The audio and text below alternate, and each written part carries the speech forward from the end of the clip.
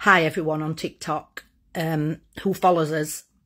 Uh, just to let you know that Nan sadly passed away yesterday afternoon. Um, all the family around her. Um, she fought right to the very end. What a true warrior that lady is. And I'm just hoping that she gives me the strength that she had throughout her life to carry on.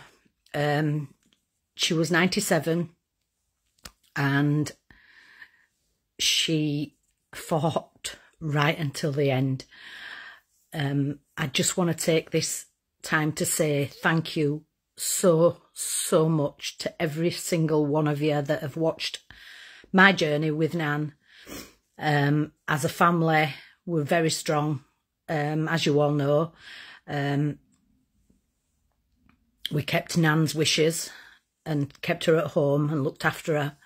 Um, she enjoyed doing her TikToks and you all were with me on this journey. Um, this is going to be a really tough time for us right now. Um, she was 97 and still had a fighting spirit. Alzheimer's weren't going to take her. Um, her heart just stopped in a sleep, very peaceful. So, Laura, these have been such a comfort. Um, just thank you. Um, that's all I can say right now. Sorry about that. Um, if love could have kept Nan here, she'd have been here forever. She was loved by so many people. Um, just scroll through my videos and watch them all. She were amazing.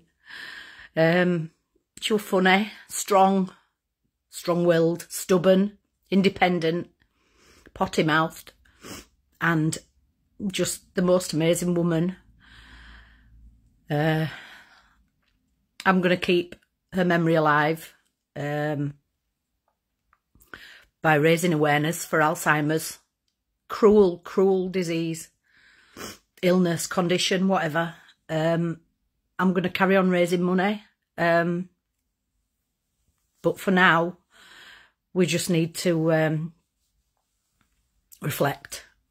And as a family, we're strong. So thank you all again so much. And I just want to say thank you to my home care and Calderdale District Nursing Team. Wow, you were amazing. Thank you so, so much.